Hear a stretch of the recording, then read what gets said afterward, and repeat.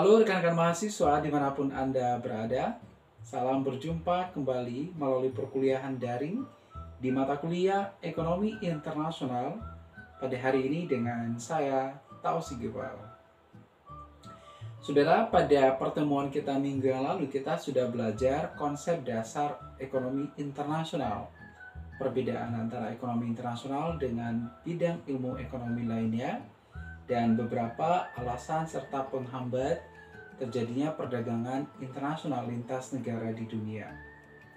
Pada hari ini, kita akan memulai mengupas teori perdagangan internasional dan kita mulai dari pemikiran mazhab merkantilisme yang akan menjadi pokok pembahasan kita pada hari ini. Oleh karena itu, silakan Anda simak videonya dari awal sampai dengan selesai.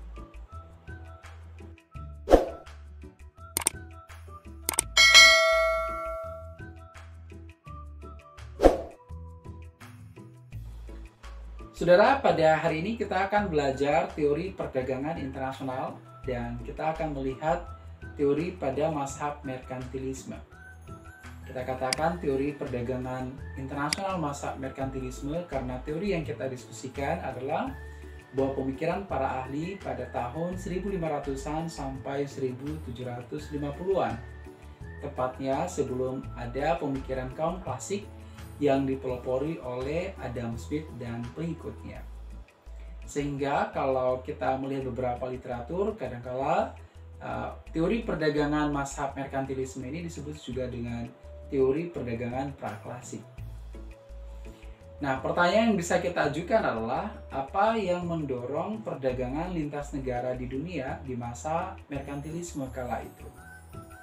Jawabannya adalah yang pertama, perdagangan lintas negara terjadi karena ada keinginan beberapa negara di Eropa, sebut misalnya Inggris, Belanda, Jerman, Italia, ada keinginan mereka untuk mempertahankan kedaulatan negaranya, ingin mendapatkan kebebasan, lalu ingin meningkatkan kemakmuran negaranya dengan cara melakukan perdagangan dengan negara lain. Bahkan tidak jarang kita melihat beberapa negara Eropa menguasai beberapa negara di dunia kala itu menjadi negara jajahannya. Sebagai contoh misalnya Belanda menjajah Indonesia sekitar 350 tahun lamanya. Yang kedua, pada masa itu juga sudah mulai terbuka jaringan perdagangan internasional sehingga memungkinkan transaksi jual beli lintas negara di dunia. Nah, ini salah satu faktor pendorong perdagangan lintas negara di masa uh, merkantilisme. Yang ketiga, uh, di masa merkant atau di masa merkantilisme ini kepemilikan logam mulia dalam bentuk emas, perak adalah sebagai salah satu tolak ukur atau ukuran kemakmuran sebuah negara. Setiap negara di dunia kemakmurannya diukur dengan cara berapa banyak emas atau berapa banyak logam mulia yang dimilikinya. Nah, inilah beberapa uh, apa alasan kenapa terjadinya perdagangan internasional di dunia. Supaya mendapatkan emas, maka mereka harus berdagang dengan negara lain. Supaya mendapatkan logam mulia, mereka harus menguasai beberapa negara lain dan seterusnya. Nah, kalau kita melihat kemudian apa ide pokok dari masa merkantilisme ini sebagai penggambaran perdagangan internasional lintas negara di dunia, yang pertama bahwa karena tadi ada suatu pemikiran atau suatu pemahaman kepemilikan logam mulia ini sebagai ukuran kekayaan, maka masing-masing negara di dunia menumpuk uh, kekayaan mereka dalam bentuk uh, logam mulia ya mereka mengumpulkan logam mulia sebanyak-banyaknya supaya uh, sebagai salah satu takaran bahwa negaranya adalah negara yang uh, makmur. Nah, upaya untuk meningkatkan logam mulia ini maka mereka melakukan kebijakan uh, pendorong atau uh, menggiatkan ekspor dan menekan impor. Jadi kalau ekspor akan mendatangkan logam mulia, kalau impor akan mengeluarkan logam mulia supaya logam mulia tidak banyak keluar, maka impor supaya mungkin ditekan dengan ekspor ditingkatkan supaya lebih banyak uh, logam mulia masuk ke dalam negeri. Nah, dengan cara bagaimana adalah ya dengan uh, melakukan berbagai kebijakan-kebijakan yang bisa uh, menahan uh, impor masuk ke negaranya. Misalnya memberikan uh, biaya masuk impor dan beberapa kebijakan yang bisa menghambat impor lainnya. Oke, karena kepemilikan logam mulia ini sebagai ukuran kekayaan suatu negara, maka uh, diupayakan adanya surplus perdagangan uh, yang diperoleh oleh masing-masing negara, ya dengan cara yang saya katakan tadi uh, meningkatkan ekspor dan menekan impor.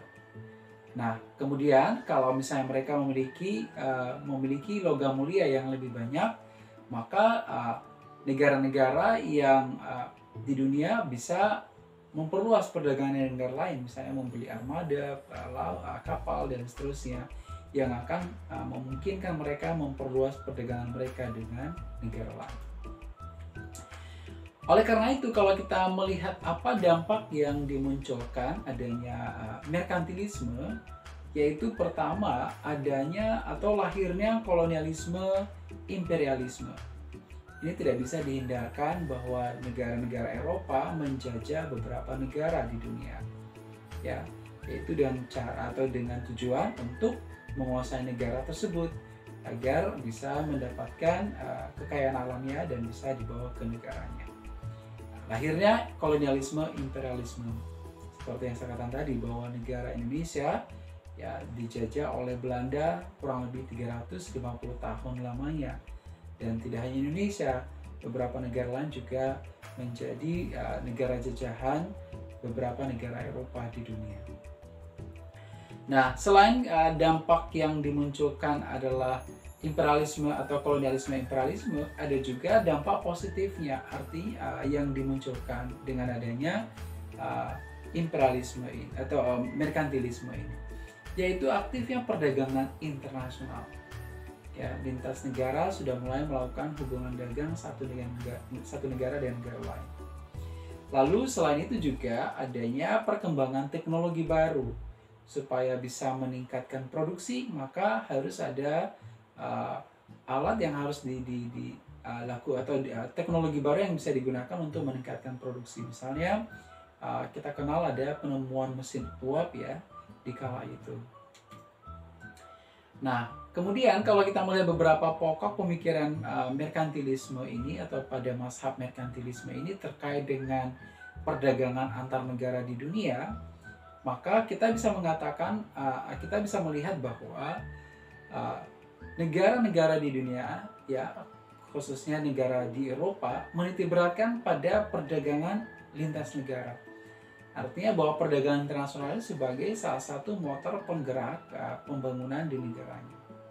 Nah, hasrat untuk mencapai kemakmuran inilah yang akan mendorong mereka untuk melakukan perdagangan dinas negara.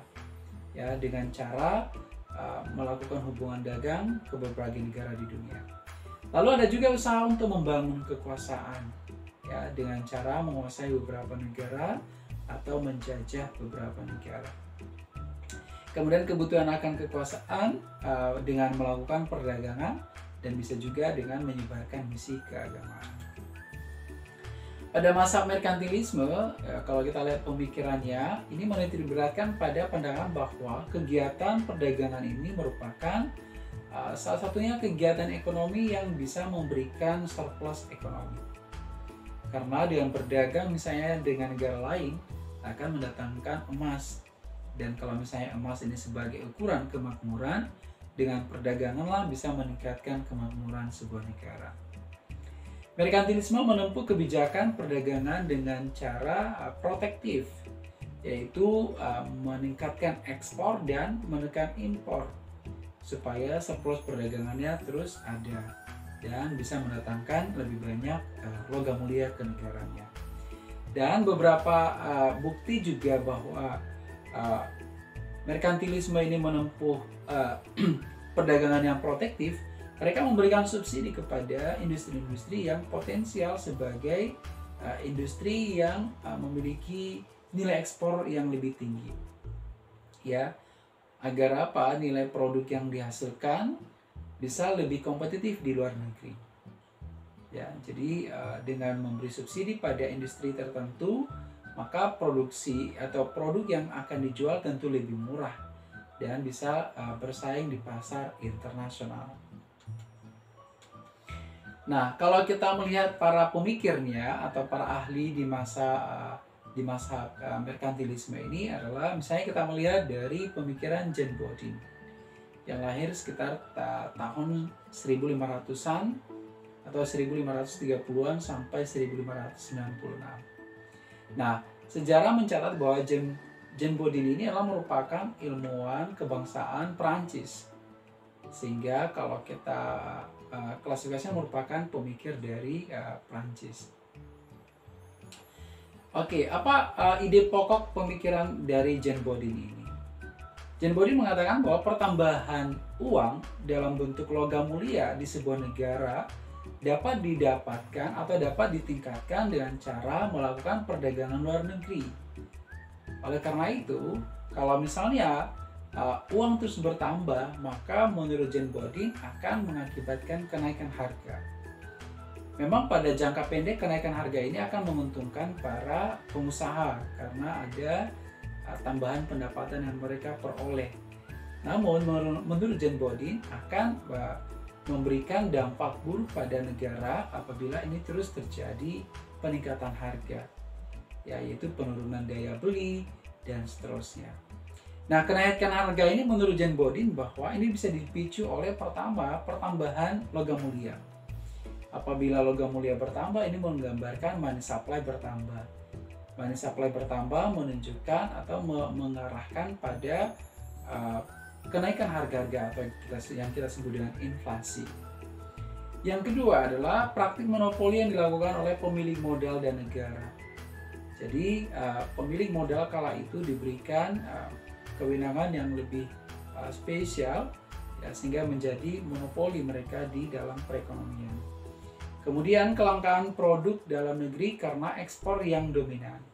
Ini akan mendorong peningkatan harga karena ada upaya untuk meningkatkan ekspor sehingga ada kelangkaan di dalam negeri. Oleh karena itu, keterbatasan jumlah produk di dalam negeri akan mendorong peningkatan harga seperti teori supply yang kita pelajari.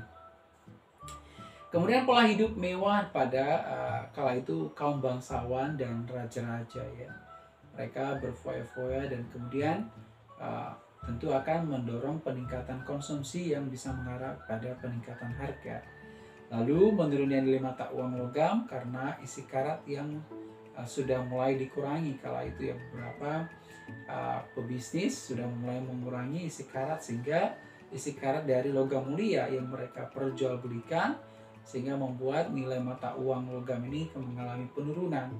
Nah, inilah ya sebagai uh, faktor-faktor uh, yang bisa memicu inflasi uh, atau peningkatan harga di kala itu. Lalu kalau kita lihat pemikir yang kedua lah uh, di masa merkantilisme lah Thomas More yang lahir sekitar tahun 500, 1571 sampai 1641. Nah, kalau kita melihat pemikirannya, uh, sebelum itu kita lihat misalnya asal atau profil dari Thomas More ini merupakan saudagar atau pedagang dari Inggris. Nah, apa pemikiran dari uh, Thomas More ini memahami tentang perdagangan internasional? Menurut Thomas More, bahwa untuk meningkatkan kekayaan negara dapat dilakukan dengan melakukan perdagangan. Nilai ekspor ini harus lebih besar dari nilai impor Berarti harus ada surplus perdagangan dengan negara lain dengan cara meningkatkan ekspor dan menekan impor. Kemudian negara yang memiliki terlalu banyak uang ya sebenarnya tidak baik karena akan meningkatkan harga atau inflasi. Peningkatan inflasi pada akhirnya akan menurunkan daya beli masyarakat. Penurunan daya beli akan menurunkan konsumsi penurunan konsumsi akan mempengaruhi atau menurunkan permintaan. Berarti akan mempengaruhi uh, penyerapan produk yang dihasilkan oleh uh, sektor produksi atau sektor swasta. Lalu akan mempengaruhi volume perdagangan.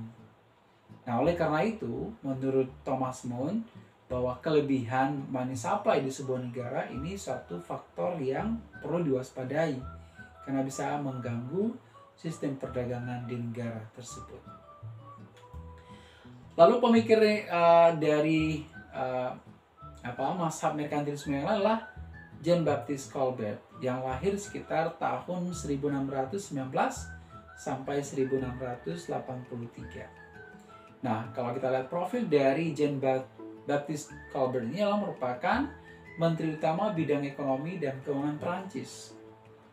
Nah, apa yang dipikir atau apa buah pemikiran dari Jean Baptiste Colbert ini terkait dengan perdagangan internasional? Ya, semasa Jean atau Jean Baptiste Colbert sebagai Menteri Utama Bidang Ekonomi dan Keuangan di Perancis, dia mendorong untuk uh, peningkatan usaha sektor kerajinan. Kemudian dia mendorong juga adanya uh, perdagangan uh, di lintas negara dengan cara uh, memberikan keringanan biaya impor supaya memudahkan transaksi ekspor dan impor di lintas negara. Kemudian di masa Jean Baptiste Colbert ini juga ada suatu hak istimewa kepada para pemilik modal dan kepada para saudagar ya, yaitu adanya hak istimewa monopoli menguasai pasar. Ya, oleh karena itu uh, sebenarnya tujuannya adalah untuk memacu produksi atau meningkatkan produktivitas dari kaum saudagar atau para pemilik modal dan mereka memberikan monopoli kepada kaum uh, atau kaum saudagar atau para pedagang atau para uh, perusahaan maka akan memicu mereka untuk untuk uh, terus berkarya berproduksi yang bisa meningkatkan ekspor ke luar negeri. Lalu uh, Jean Baptiste Colbert juga mendorong pengembangan ilmu pengetahuan ya dengan uh, membuka beberapa sekolah-sekolah atau akademi dengan tujuan agar penduduknya bisa bersekolah dan memiliki pengetahuan sehingga bisa menciptakan teknologi baru untuk peningkatan produksi yang bisa menunjang uh, kegiatan perdagangan lintas negara. Lalu pemikir yang lain adalah Sir William Petty yang lahir sekitar 1623 sampai 1687. Nah, kalau kita lihat profil dari Sir William Petty ini merupakan akademisi dari Oxford University. Apa pemikiran yang dikemukakan oleh Sir William Petty inilah yang pertama bahwa uh, nilai suatu barang ini kadangkala kita mengukurnya dengan cara banyaknya tenaga kerja yang dipekerjakan untuk menghasilkan produk tersebut. Ya, tetapi menurut uh, Petty atau William Petty bahwa bukan dari banyaknya yang mengerjakan produk tersebut, tetapi diukur dari biaya yang diperlukan untuk mempertahankan hak-hak para pekerja. Jadi misalnya uh, supaya pekerja itu terus bekerja, maka tentu mereka harus dibiayai biaya yang digunakan untuk uh, mempertahankan para pekerja inilah yang kemudian sebagai uh, ukuran dari nilai produk yang dihasilkan.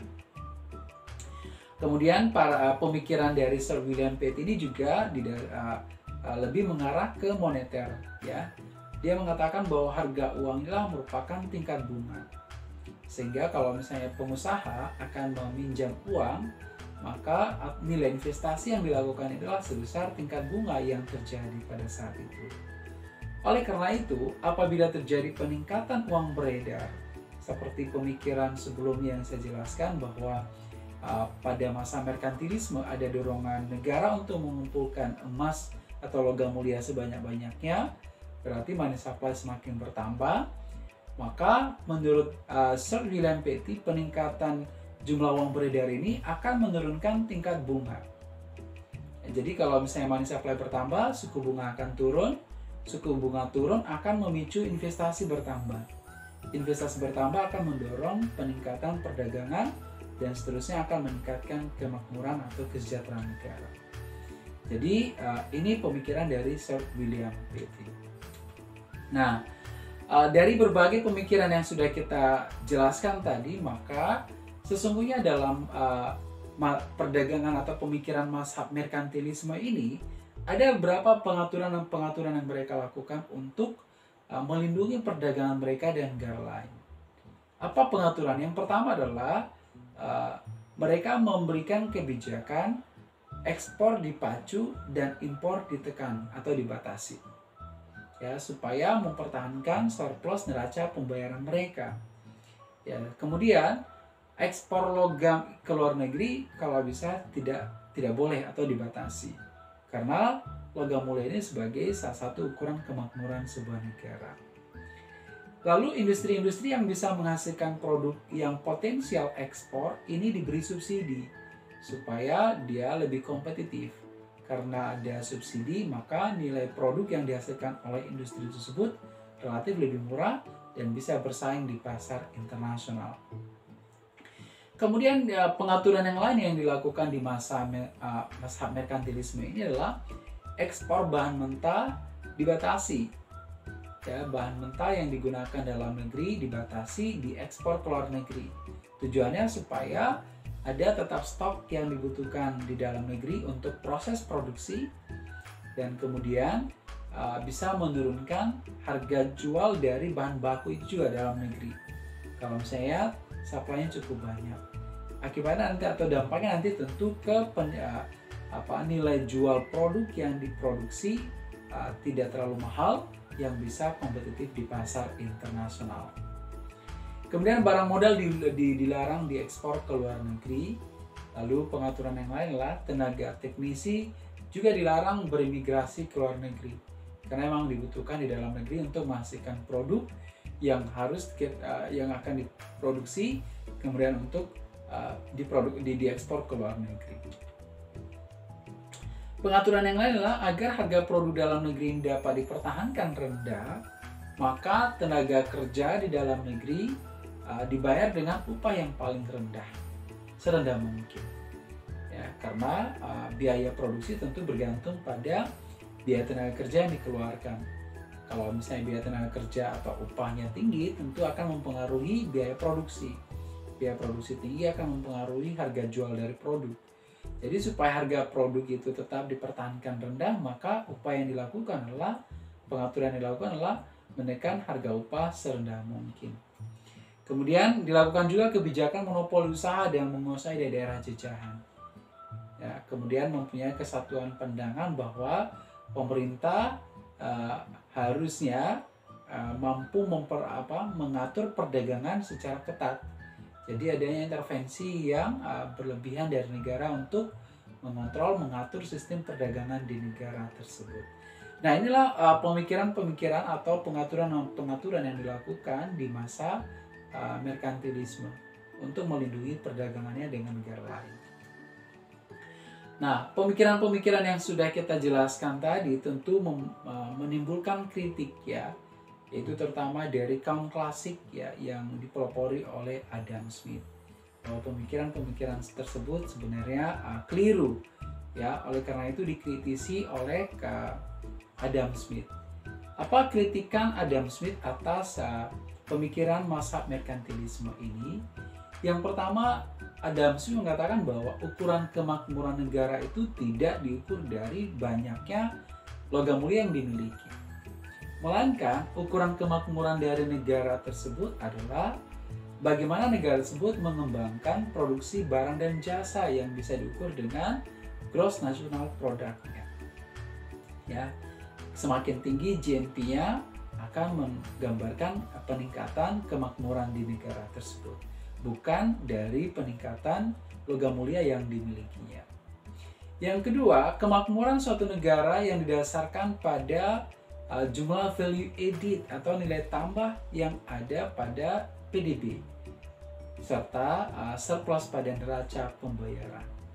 Jadi kemakmuran negara ini kita ukur dengan cara uh, melihat nilai value added atau nilai tambah yang didapatkan dari uh, PDB yang kita uh, yang diproduksi oleh masing-masing negara. Lalu kekayaan negara ini menurut uh, Adam Smith bahwa dapat diperoleh dengan cara penerapan laissez-faire atau uh, pembebasan atau mem meminimumkan intervensi pemerintah pada perdagangan yaitu dengan menerapkan perdagangan bebas dengan negara lain. Jadi laissez-faire inilah menjadi salah satu kata kunci pada sistem perekonomian klasik yang kita kenal di dalam uh, ekonomi mikro atau ekonomi makro. Minimnya campur tangan pemerintah, laissez-faire atau perlunya perdagangan bebas. Pemerintah tidak perlu mencampuri soal perdagangan, pemerintah hanya sebagai regulator. Ini yang disarankan oleh uh, kaum klasik atau uh, Adam Smith kala itu. Kemudian menurut Adam Smith juga sebagai kritikan atas pemikiran mazhab merkantilisme ini bahwa perdagangan bebas meningkatkan kompetensi yang mengarah kepada spesialisasi berdasarkan keunggulan absolut yang dimiliki oleh masing-masing negara. Ya, dengan adanya perdagangan bebas, maka setiap negara nanti akan mengarah kepada spesialisasi pada produk-produk tertentu yang lebih efisien. Ya. Nah, kalau misalnya masing-masing negara berfokus pada produk yang uh, atau spesialisasi pada produk yang lebih efisien, tentu akan menambah tingkat uh, produksi yang dihasilkan. Apabila dibandingkan kalau misalnya semua produk tersebut dihasilkan.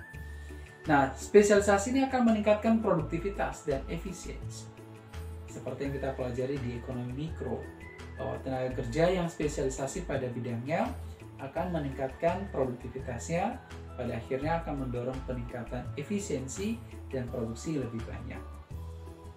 Peningkatan produktivitas yang dan efisiensi juga akan meningkatkan PDB pada akhirnya ya serta surplus perdagangan yang identik dengan tingkat kemakmuran di sebuah negara. Jadi bahwa pemikiran masa merkantilisme tentang ukuran kemakmuran sebuah negara dari banyaknya logam mulia yang dikumpulkan menurut Adam juga sebuah pemikiran yang keliru. Seharusnya uh, untuk mendorong peningkatan kemakmuran sebuah negara yang perlu didorong adalah peningkatan added atau peningkatan uh, GNP sebuah negara, bukan peningkatan kepemilikan logam mulia. Jadi barangkali itu uh, materi penjelasan materi perkuliahan kita pada hari ini terkait dengan teori perdagangan internasional masa merkantilisme saya berharap uh, bisa dipahami dan nanti kita bisa berdiskusi pada forum diskusi yang disediakan. Kurang lebih saya mohon maaf. Semoga bermanfaat. Atas perhatiannya saya ucapkan terima kasih.